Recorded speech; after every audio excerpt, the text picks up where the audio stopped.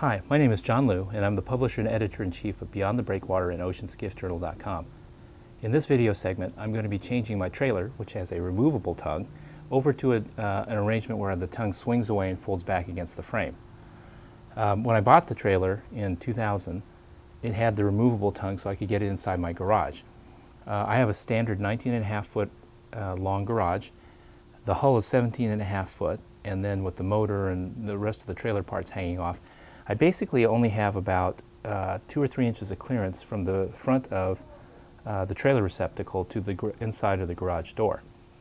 Uh, the main problem with this kind of uh, setup though is that the tongue itself weighs about 45 pounds and it's uh, quite a bit of weight to lug around at 4 in the morning and uh, over time I think I'm going to get tired of doing this. I mean I've been doing it for five years and now that I'm getting a little bit older you know it's a little bit harder in the back, I'm getting lazy. Um, the swing away tongue will basically allow me to uh, swing the tongue in, get the clearance I need, and uh, without having to lug the 45 pounds around.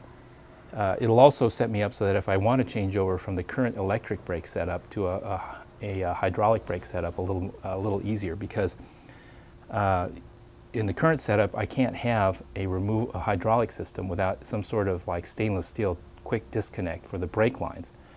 Um, that's why I use electric brakes on my trailer.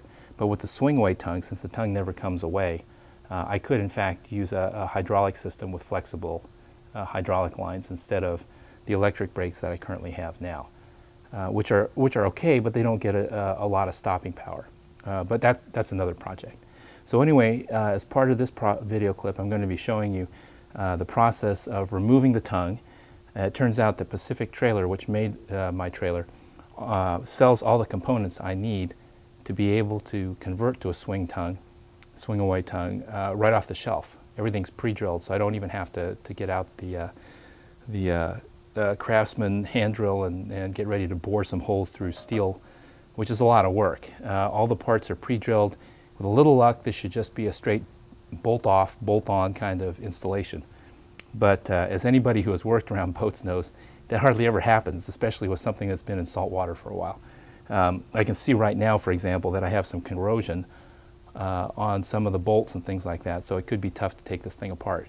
Uh, but we'll see. Um, it's uh, Saturday morning, and with a little luck, I'll be done by Saturday afternoon. Uh, hopefully the same week, but we'll see. All right? So let me show you the trailer, removable trailer tongue assembly as it stands right now. Um, up here in the front, you can see the uh, female part of the removable tongue assembly.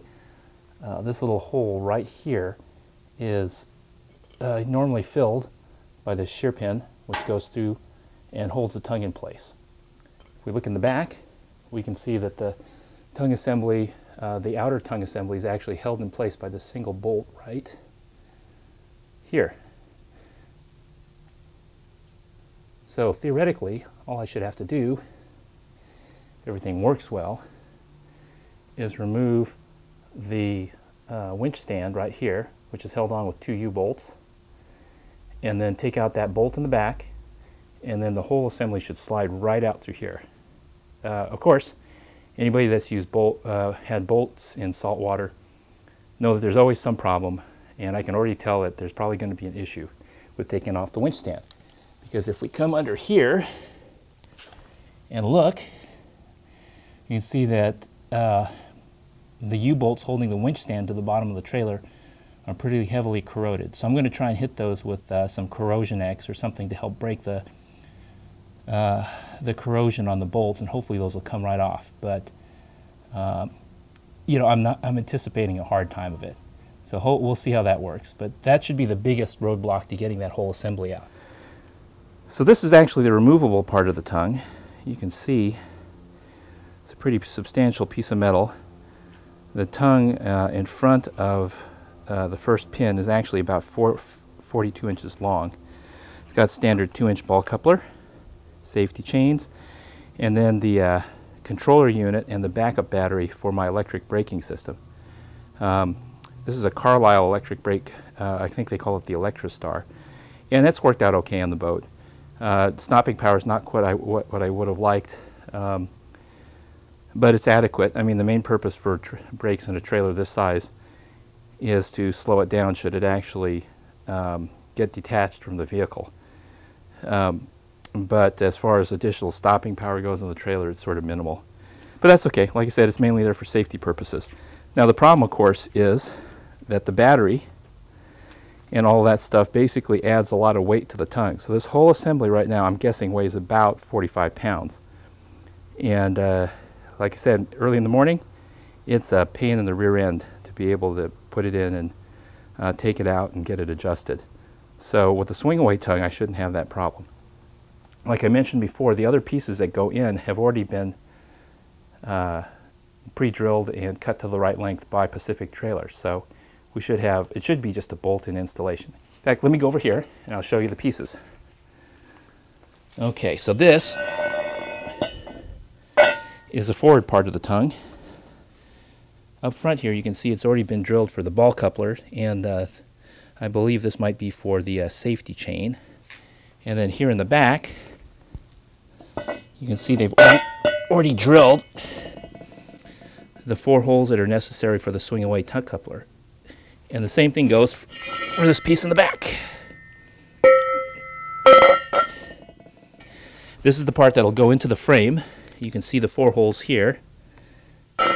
And then uh, the holes that are necessary to hold it in place in the frame.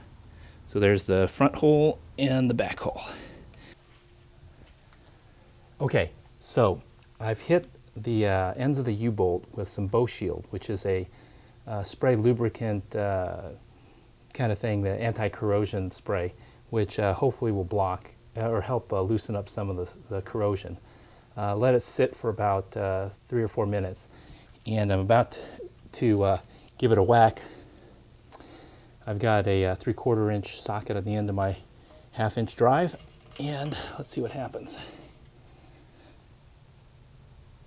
Oh, there we go. Okay, so that's good. Um, so it looks like that one was pretty easy. That's a good sign. Normally these things are take a lot more leverage. I don't have a breaker bar handy, but I've got a uh, my torque wrench, which has got a, uh, about an 18 inch handle, so I'll use that if I have to. Oh, oh, this one's coming off much easier. Okay, good job. Okay, that's good. I think I'm in pretty good shape. Just a few minutes, we'll have the whole assembly off. The other thing I'm going to do right now is I'm going to basically uh, disconnect the boat from the winch. I'm assuming there might be a little bit of tension on there, and I don't want the uh, winch stand to move too much when I take it off. The other thing I forgot to do, uh, which I'll do right now, is I need to make sure I put the winch stand in the same spot. So what I'm going to do now is I'm going to get my little trusty uh, tape measure and uh, mark it off. So the winch stand, the back edge of the winch stand is 12 inches uh, from the back edge of this cross member. Okay, so that, that way I'll have the boat balanced in the same spot. Got the winch stand released from the boat, so now once I finish removing the U-bolts, I should be able to just lift the stand off and I should be all, all set. Then the next step would be to take this back bolt off and then we'll be able to slide the, the tongue out.